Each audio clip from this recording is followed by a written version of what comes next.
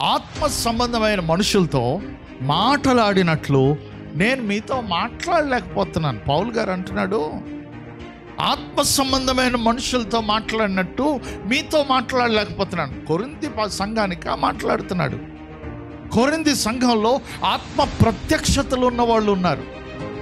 పరిశుద్ధాత్మ వరాలు ఉన్న వాళ్ళు ఉన్నారు. జాగ్రత్తగా వినండి నా భాష. అలాంటి కొరింది సంఘాన్ని పట్టుకొని ఆత్మ సంబంధులతో మాట్లాడినట్టుగా నేను మీతో మాట్లాడలేకపోతున్నాను. శరీర సంబంధులైన మనుషులే అని. మీరు ఎంత ఆత్మ సంబంధంగా ఎదిగిపోయినా మీరు శరీరాల్లోనే ఉన్నారని. అప్పుడప్పుడు శరీరాన్ని సంబంధించిన విషయాలు చేస్తున్నారని. శరీరాన్ని ఆధారం చేసుకుంటున్నారని. శరీర ప్రకారంగా యుద్ధం చేయటానికి ప్రయత్నం చేస్తున్నారని. ఏమండి? శరీరంలో ఉన్నట్టుగానే భయపడిపోతున్నారని ఆందోళన పడిపోతున్నారని అందుకే ఆత్మ సంబంధులైన పరిపూర్ణులైన మనుషులతో మాట్లాడినట్టు నేను మాట్లాడలేకపోతున్నాను. పరిస్థితులు ఎలాగైపోయినాయి అంటే క్రీస్తులో పసిబిడ్డలే అని మీతో మాట్లాడాల్సి వస్తూ ఉంది. ఏమండి? పసిబిడ్డలు. రౌండ్ చేసుకోండి ఇలా. ఈ మాటలు అనేది సాధారణమైన సంఘంతో కాదు పౌల్ గారు పరిశుద్ధాత్మ వరాల పరాకాష్ట కలిగిన విశ్వాసులైన కొరింది సంఘంతో పసిబిడ్డలారా. క్రీస్తులో పసిబిడ్డలారా. లోకంలో మీరు సీనియర్సే. లోక సంబంధమైన జ్ఞానంలో సీనియర్సే. ఏమండి లోక సంబంధమైన వ్యవహారాల్లో మాటకారితనం ఉన్నటువంటి లౌక్యాన్ని ప్రదర్శించే వాళ్ళే ఇలా చెప్పుకుంటూ పోతే కానీ బాధాకరమైన సంగతి ఏంటి అంటే యేసుక్రీస్తులో పరిస్థితికి వచ్చేటప్పటికి మీరు పసిబిడ్డలే అని మీతో మాట్లాడాల్సి వచ్చింది. అప్పట్లో మీకు బలం చాలలేదు. అప్పట్లో పాలతో మిమ్మల్ని పెంచాను కానీ అన్నంతో మీరు మిమ్మల్ని పెంచలేదు. అప్పుడు అలాగే ఉన్నారు పాలు తాగేవాళ్ళుగా ఇప్పుడు కూడా ఇంకను ఆ మాట చూసారా మీరు ఇంకనూ శరీర సంబంధులై ఉండుట వల్ల ఇప్పుడు కూడా బలహీనులై ఉన్నవారు కారా? అప్పుడు బలహీనులే ఇప్పుడు బలహీనులేనా? ఎంతమంది విశ్వాసులు ఈ మాటలు వింటున్నారు? నేటి ఆధునిక క్రైస్తవ సంఘాలు కళ్ళు బాగా తెరిచి చూడాలండి. మనసు బాగా తెరిచి వినాలండి. ఆత్మ సంబంధమైన ఈ ప్రత్యక్షతలు దేవుడు ఇస్తున్నాడు. క్రీస్తులో విశ్వాస యొక్క స్థానం ఎక్కడ? విశ్వాస యొక్క స్థాయి ఎంత? విశ్వాస యొక్క ఎదుగుదల ఎంత? నువ్వు ఎదుగుతున్నావా? ఎదుగుతున్నట్టు భ్రమపడుతున్నావా? ఏమండి ఎదుగుతున్నట్టు పనులు చూ చూస్తున్నాం కానీ ఆత్మశుద్ధంలో ఎదుగుదల కనిపించట్లా? బలహీనులై ఉన్నారు. కారా? కానీ ఎంత క్వశ్చన్ అడిగినా వాళ్ళు ఏం మాట్లాడట్లా? అంటే అర్థం ఏంటి? వాళ్ళు బలహీనలే. ప్రశ్నించబడుతూ ఉన్నారు. ఆ బాధ అనిపిస్తుంది. కొన్ని సందర్భాల్లో బైబిల్లో విశ్వాసులు ప్రశ్నించబడుతుంటే గుండెల్లో మంట కలుగుతుంది. విశ్వాసులు గుచ్చి గుచ్చి చూడబడుతూ ఉంటాయి విశ్వాసులు వేలెత్తి చూపెట్టబడుతూ ఉంటాయి ఏమంటే మన బలహీనతలు లేకపోతే మనం చెప్పుకుంటున్న బలహీనతలు ఎక్కడ ఎక్కడ ఆత్మీయ జీవితంలో తగ్గిపోతున్నామో ఎక్కడ ఎక్కడ నిరాశలో ఉన్నామో. అప్పుడు ఒక తండ్రి వచ్చి అంటాడు శిష్యుల దగ్గరికి వాళ్ళ అబ్బాయిని తీసుకొచ్చాడు. ఆ మోగదయం పడింది. కొంచెం చూడండి అయ్యా. మీరు బాగు చేస్తారని మీరు స్వస్థపరుస్తారని అధికారం కలిగిన వాళ్ళని తీసుకొచ్చాను.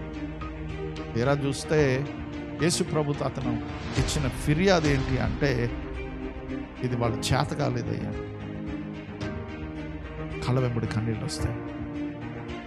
క్రైస్తవ విశ్వాసులు చేతగాని పరిస్థితుల్లో ఓర్చుకోలేని పరిస్థితుల్లో పట్టుకోలేని పరిస్థితుల్లో నిలబడలేని పరిస్థితుల్లో ఏమండి సహాయం కోసం వేరే ఇతరుల మీద ఆధారపడే పరిస్థితుల్లో. నేను శరీర సంబంధమైన బలహీనతల గురించి మాట్లాడట్లా? ఆత్మ సంబంధంగా. ఇంకా ఎవరో ఎవడే నవిలు పెట్టాలి.